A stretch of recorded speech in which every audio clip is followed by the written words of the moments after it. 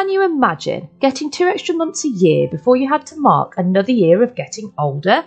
Well, if you were the Queen of the United Kingdom, you enjoy this privilege every year. The Queen's real birthday is the 21st of April, and she was born in Mayfair, London, on this date in 1926 to the then Duke and Duchess of York. Her father later became King George VI on the abdication of her uncle Edward VIII. However, the Queen's official birthday is the second Saturday of June.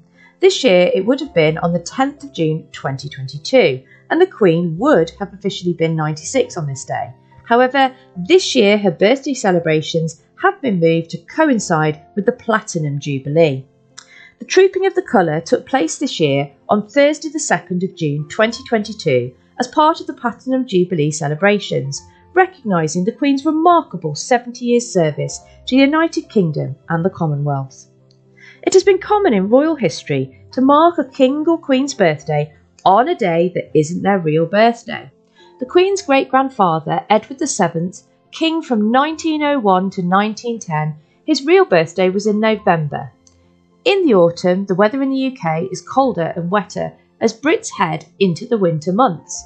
The king wanted to have a big public celebration, but didn't want the weather to spoil it for his subjects. Instead, he decided to combine a birthday parade with an annual military parade in the summer, and the Trooping of the Colour was born. Having two birthdays allows the Queen to celebrate her actual birthday with the royal family and celebrate again in June with the people of the UK. The Queen marks her official birthday with a 41 gun salute in Hyde Park, a 21 gun salute in Windsor Great Park, and a 62 gun salute at the Tower of London.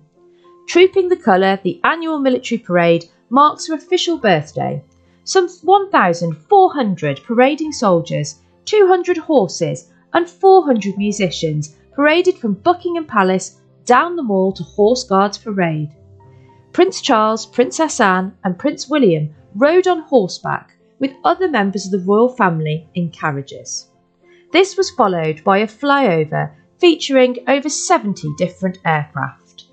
If you liked our video, please be sure to like, share and subscribe for more content from videos for special ed.